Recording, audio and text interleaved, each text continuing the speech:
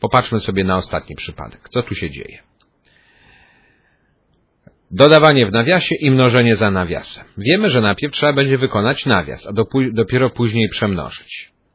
No, teraz jaką decyzję podjąć? Tu mamy ułamek dziesiętny i dwa zwykłe. Co zamieniamy na co?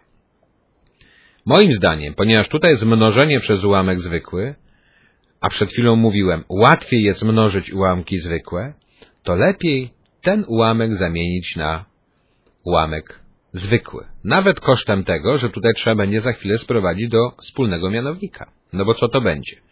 3 dwie dziesiąte dodać jedna czwarta razy dwie trzecie. Najpierw trzeba nawias policzyć, czyli dodać, a tu mamy dziesiąte, a tu czwarte, więc trzeba sprowadzić do wspólnego mianownika. Ale to się moim zdaniem bardziej opłaca niż inna droga. Zwłaszcza, że z ułamkiem dwie trzecie byłoby ciężko to zamienić na ułamek dziesiętny. To byłoby niewykonalne, mówiąc szczerze.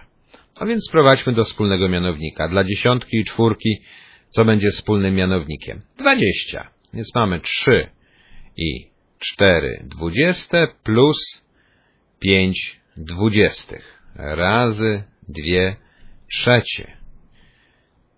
3 i 4 dwudzieste plus 5 dwudziestych to mamy 3 i 9 dwudziestych razy 2 trzecie. Zamieniamy liczbę mieszaną na ułamek. 3 razy 20 to 60, więc 69 dwudziestych razy 2 trzecie.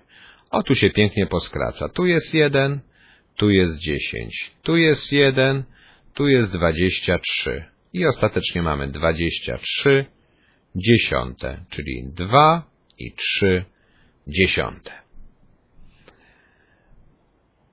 Podsumujmy sobie.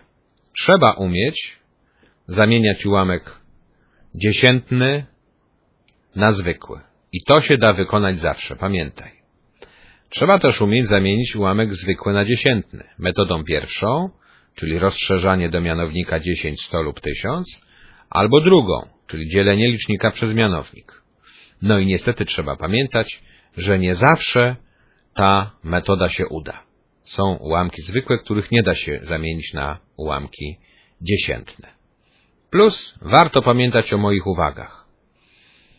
Dla dodawania i odejmowania ja osobiście zawsze bym wolał działać na ułamkach dziesiętnych, a dla dzielenia i mnożenia na odwrót, na ułamkach zwykłych. A jak ty zrobisz? To już twoja sprawa. Koniec tej lekcji.